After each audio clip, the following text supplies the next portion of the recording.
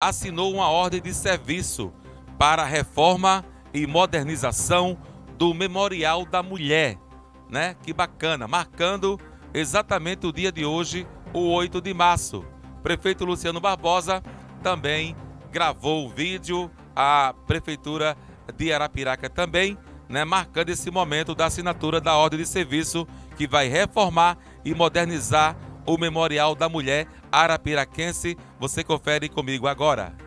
O prefeito Luciano Barbosa assinou na tarde desta terça-feira a ordem de serviço para a modernização e reforma do Memorial da Mulher, um símbolo cultural e histórico feminino. E os sete segundos deu até aqui para acompanhar esse momento histórico. Assinatura da reforma e modernização aqui do, do Memorial da Mulher e desse espaço aqui, dessa praça aqui em cima do Memorial é muito importante para a cultura de Arapiraca, principalmente para a cultura é, que valoriza a mulher. O nosso prefeito ele vem, vem fazendo ações voltadas para a valorização da mulher e da cultura na nossa cidade. É, essa assinatura é muito significativa porque é a revitalização aqui do espaço Memorial da Mulher. Foi um espaço construído para que a gente pudesse contar a história de Arapiraca sob o olhar da mulher. Então aqui tem que ser um acervo, onde as mulheres possam vir, onde possam fazer reuniões, onde possa se discutir a questão da mulher, as questões da mulher e, portanto, é um espaço dedicado a essa área e estava fechado há algum tempo.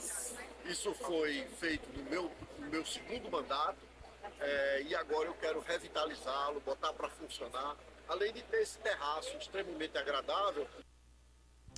Muito bem, prefeito Luciano Barbosa, fazia até tempo que não ouvia, né? Pelo menos vi agora através de vídeo. A tecnologia é muito bacana quanto a isso. Luciano Barbosa, que também foi vice-governador do estado de Alagoas e também tirou nota 10 como secretário de Estado da Educação. Hoje ele governa a segunda maior cidade do nosso estado, Arapiraca.